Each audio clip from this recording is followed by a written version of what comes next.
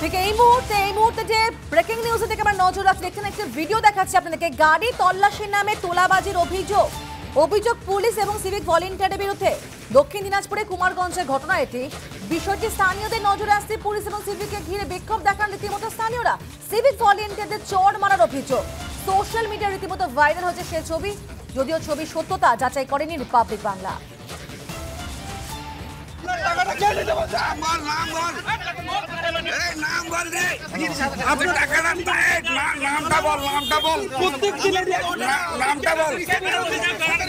তো কোন অফিসে নিতে বলছে, নামটা বল। নামটা বল, অফিসের নামটা বল। নামটা নামটা নামটা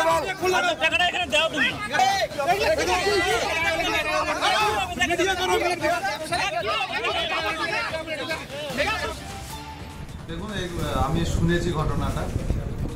পুলিশকে মারধর করা হচ্ছে, সেটা বড় বিষয় না। বিষয় হলো যে এই জেলাতে বরাবরই অভিযোগ আসছিল যে পুলিশ, সিভিক তারা রাস্তায় দাঁড়িয়ে আর বিভিন্ন জনের কাছ থেকে ওরা টাকা তুলছে। এখনও সেটা অনেক জায়গাতে ইয়ে আছে।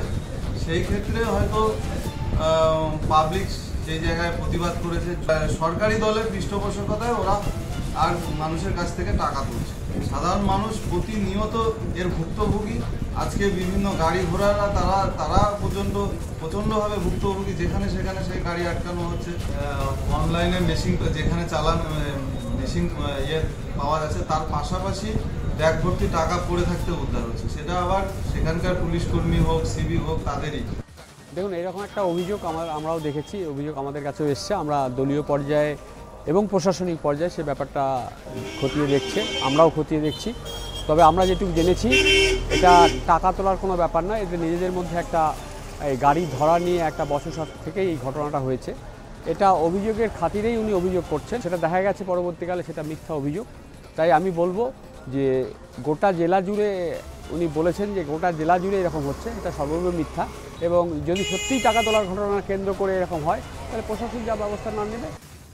সিভিকের মারধর করার ছবি আমরা দেখতে পাচ্ছি। এনকোয়ারি করে দেখছি কাউকে অ্যারেস্ট করছেন বাইরে কিছু? দেখছি। কোথাকার স্যার? ভিডিও এটা কি সামনে এসেছে? কোন এলাকার এটা?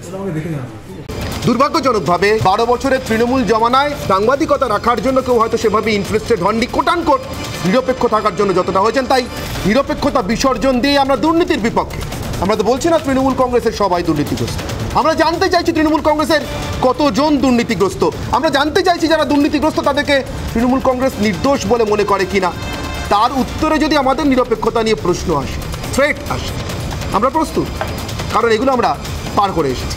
শাসকের রোষ, সাংবাদিকের অলংকার